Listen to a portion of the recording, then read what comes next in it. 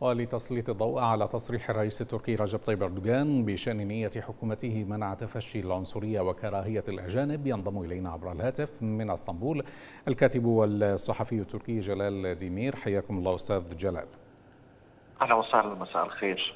مساء الأنوار. أستاذ جلال كما تعلم الرئيس التركي رجب طيب أردوغان خلال كلمة له في أنقرة أكد أن تركيا لن تسمح بتفشي العنصرية.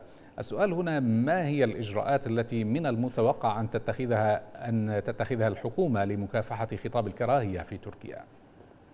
بصراحة طبعا تصريحات الرئيس كان مهم جدا خصوصا في الأوان الأخيرة بعد ازدياد أفعال عنصرية من قبل البعض ولكن للأسف يعني تصريحات الرئيس لم ياخذ صدى أيضا على الإعلام العربي رغم أن تصريحاته الذي صرحه هو طبعا كان خطابه للولاة أو للقائمقام القائم على الأمور أو ممثل الحكومة في الولايات ونصحهم ب بنصائح جميلة وجيدة خصوصا بعد ازدياد العنصرية من قبل البعض نصحهم بأن لا يسمحوا في الولاية التي سيكون مسؤولين عليها أن لا يسمحوا بأي أفعال عنصرية وأن يكونوا يقفوا ضد هذه العنصرية.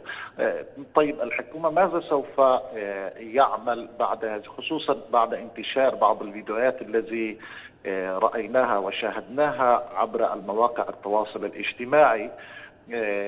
يعني أكيد فهمنا من تصريحات الرئيس أن الرئيس نفسه شاهد هذه الفيديوهات أو وصل إليه معلومات هذه الفيديوهات لأنه في تصريحاته ركز أيضا على الفيديو الذي انتشر في الأوان الأخيرة لامرأة سورية في مدينة إزمير داخل الحافلة وهو ذكر ذلك يعني أن العنصرية التي في المدارس أو في يعني بشكل عام هناك نعم هناك ممارسات عنصرية بالفعل تجري ولكن ما هي الإجراءات؟ هل من المتوقع طرح قوانين على البرلمان التركي تحد من هذه الإجراءات أم ماذا؟ طبعا يوجد قانون قانون حول من يرتكب العنصرية المادة 102 120 كيمياء 2 122 هذه المادة لمن يرتكب العنصرية، هذه المادة موجودة تم التغيير عليها في 2014 طبعا يوجد أيضا ولكن هذه المادة هل هي مفعلة الآن؟ هل يؤخذ بها؟ يعني لماذا هذه الممارسات إن كان هناك يوجد مادة في القانون؟ طبعا هناك هناك ما يقارب 450 ملف انتقل للقضاء. حول العنصرية. يعني يوجد ولكن هل هذه القانون فعال في كل الأماكن في كل الحوادث؟ هذه يعني وفق الشكوى الذي يحصل من قبل الأشخاص. أحيانا يرتكب أحد العنصرية ولكن لا أحد يشتكي عليه فحينها هذا يبقى. ولكن هناك وفق ما أخذنا من معلومات التي حصلت إليها أنه أكثر من 450 حالات عنصرية في الأوان الأخيرة انتقل للقضاء والقضاء يستمر الآن القضاء. طبعا النقطة الأولى هي شكوى على هذه الفعل. وثانيا فعلا أحيانا يكون إثبات فعل العنصرية يكون فيها صعوبة. أحيانا يكون بالأقوال بدون فعل. أحيانا يكون الفعل مع القول. ف واحيانا لا يكون الشكوى على الذي ارتكب العنصرية. فلذلك بصراحة ما يوجد فرق أيضا ممكن انه نقول فرق صغير بين الكره بين القتال أو بين المشاجرة الشخصية والعنصرية، يعني أحيانا الشخص يرتكب العنصرية ولكن يسميها أنه شجار شخصي.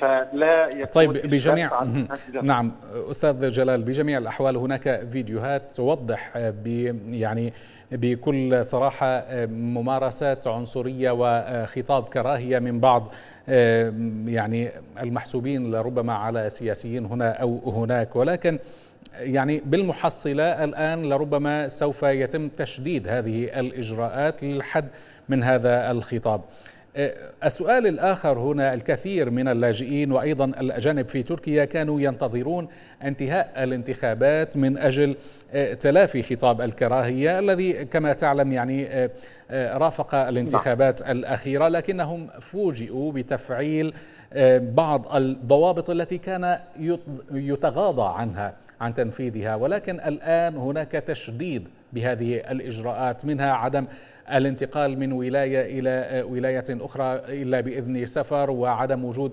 الأجانب بغير ولاياتهم وغيرها من الأمور لماذا الآن يتم تشديد هذه الإجراءات برأيك؟ لو تصريحات الرئيس كان واضح وأيضا يعني كان هناك إشارة إلى هذه الموضوع أيضا. آه، وأشر آه، أيضا الرئيس على أن الذين يرتكبون آه، أو يتوسلون إلى العنصرية ضد الأجانب هم لديهم أجندة خاصة ونحن نعرف ونحن مطلعين على ذلك. وحتى الذين يعني خصوصا بالسوشيال ميديا على تويتر الذين يريدون أن ينشئوا يعني ينشئوا قضية صنعية وليس حقيقية. نحن نعرف ذلك وحتى وزير الداخلية أيضا نشر أن ما يقارب 400 حسابات الذي وصلوا إليها هو حساب وهمي وليس حسابات حقيقية هذه نفهم من هذه التوضيح وهذه التصريحات على أن الرئاسة على أن الداخلية مطلع على الوضع الذي يجري، طيب لماذا رغم ذلك التشديدات؟ أصلا يعني برأيي أنا كموظف سابقا بالهجرة كل الإجراءات التي الآن تركز عليها هي يعني سابقا كان موجود. لا يوجد أي شيء جديد بخصوص آه، اللاجئين من ناحية الهجرة. آه، ولكن آه، مثل ما ذكرتم قبل قليل هناك تركيز على الموضوع أو هناك تشدد في إجراء هذه القوانين التي كان موجود سابقا وهذه خصوصا بعد إشاعات وبعد نقل بعض السياسيين خصوصا أن أن أن على أن تركيا لا تحفظ بحدودها ولا تحارب الهجرة الغير الشرعية. ممكن أنه بناء على ذلك أتى ولكن نستطيع أن نقول أيضا آه، الداخلية أخذت خطوة قاسية ولكن آه، لاحقا في الأوان الأخيرة خففت ممكن نسبة آه، خففت نعم. هذه الإجراءات نعم إذا كنت ضيفنا عبر الهاتف من إسطنبول الكاتب والصحفي التركي جلال ديمير. شكرا جزيلا لك.